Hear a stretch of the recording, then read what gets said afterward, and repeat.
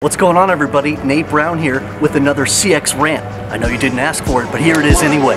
We've got so many CX professionals that are out here saying they can't get people to engage with the work. Our CX program is just out here fledgling.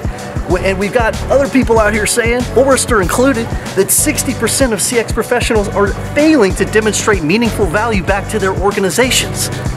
And yet we keep doing the same stuff. we, we keep focusing on the same thing, which so often the thing we're focused on is CX itself. The terms we make up, our programs, our initiatives. Well, what is CX really? It's a culture change. We should be inviting more people into the unique brand promise that we have as a business and paving the way for more people to be served by that brand promise really, really well making that brand promise happen more consistently, more authentically.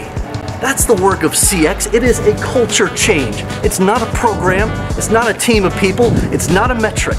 It is a culture change. Maybe if we focus on that a little more, we'll be able to demonstrate a little more value. Just a thought.